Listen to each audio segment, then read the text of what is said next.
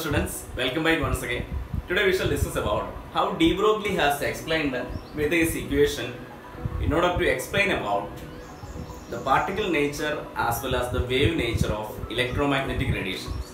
De Broglie derived his relationship with the help of Planck's quantum theory that is E is equal to according to Planck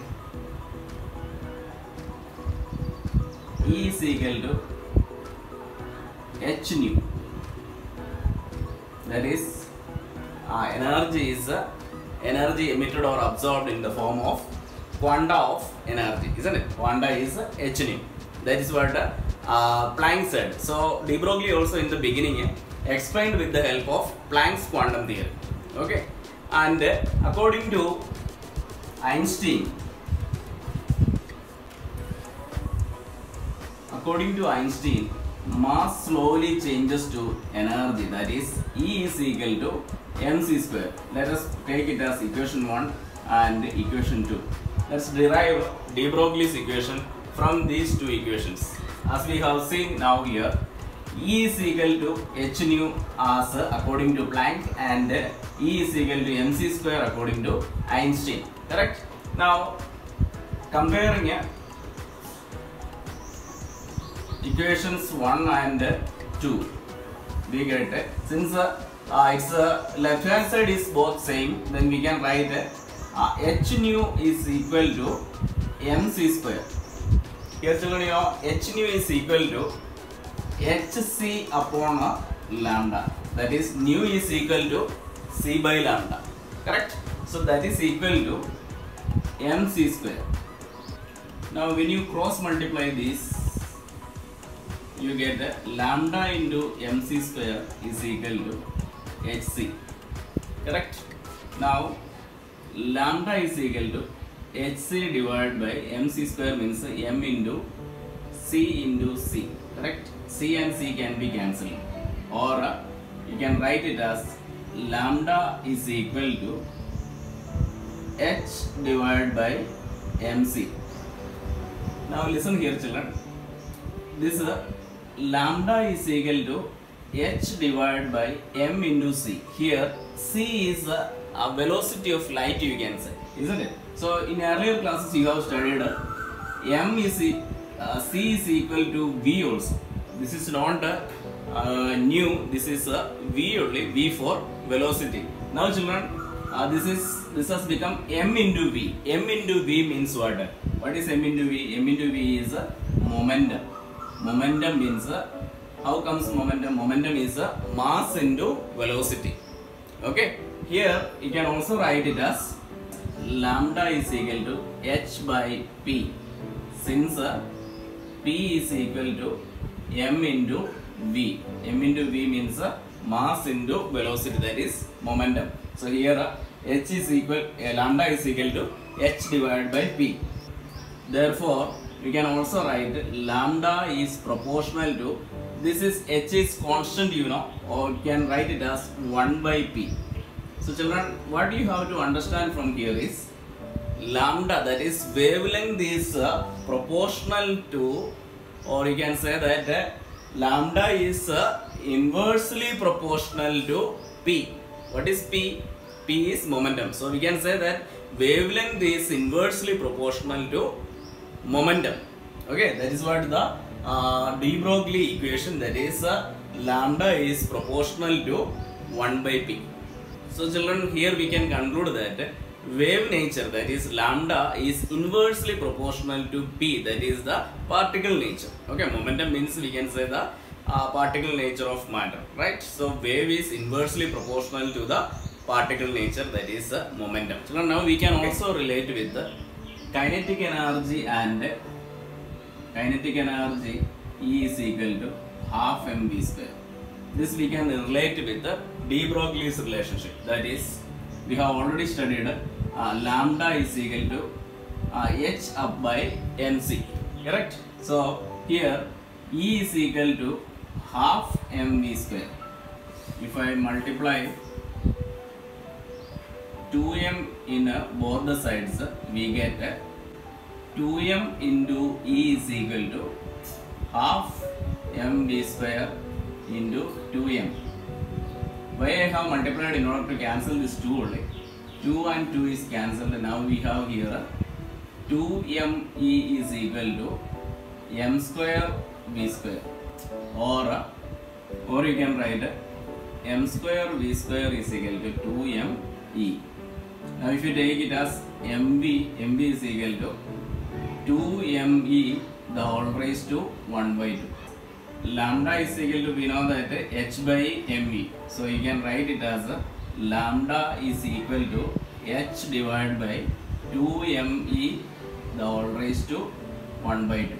So this is the this equation actually gives the relationship between kinetic energy and de Broglie equation that is lambda is equal to h by 2 me raised to 1 by 2 or you can say h by square root of 2 me.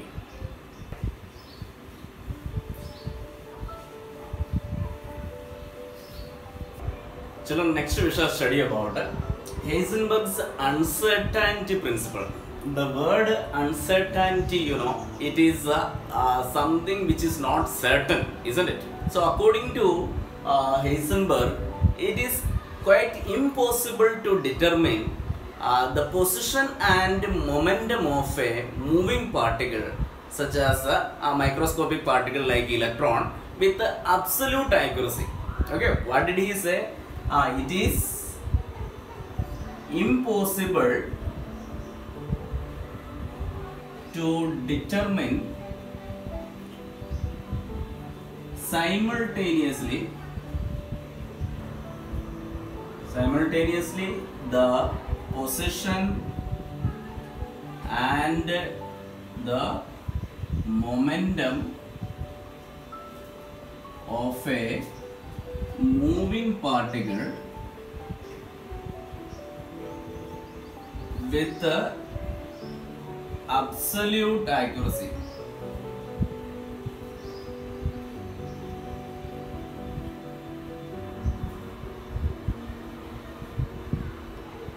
This is the definition what Heisenberg explained.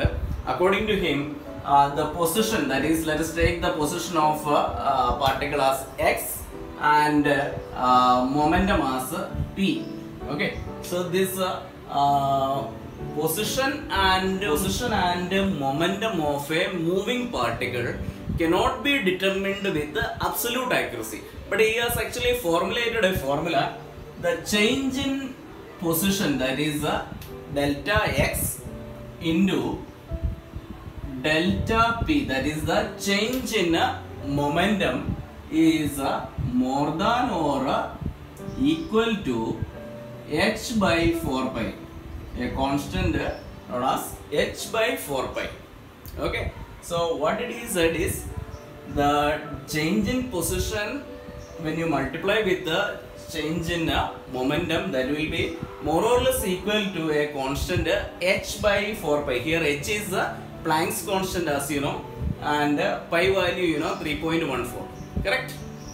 So what is actually according to uh, Heisenberg is it is quite impossible to determine the position as well as the momentum of a moving particle with absolute accuracy. Okay? So children here we have a question. A microscope using suitable photons is employed to locate an electron in an atom with a distance of 0.1 angstrom. What is the uncertainty involved in the measurement of velocity? What is asked to find out is uh, the change in velocity. That is we have the formula from the uncertainty principle delta x into delta p that is equal to h by 4 pi. Correct?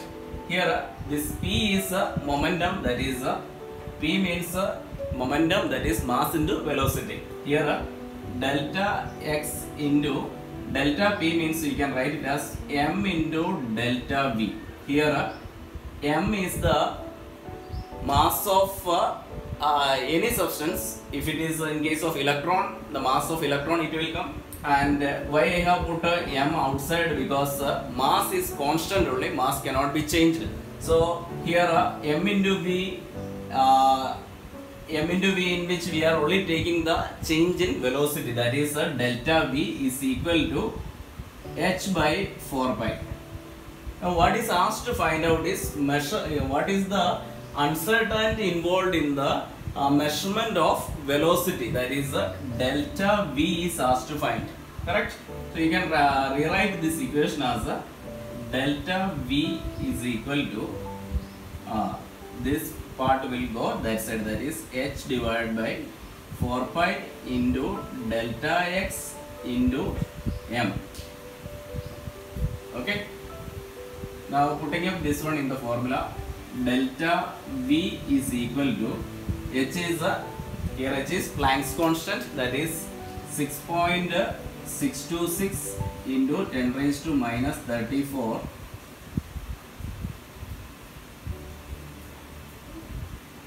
minus 34 divided by 4 into pi value is 3.14 either we can take 3.14 or a, uh, 22 by 7 you can take no problem or a root, root 10 is also correct only.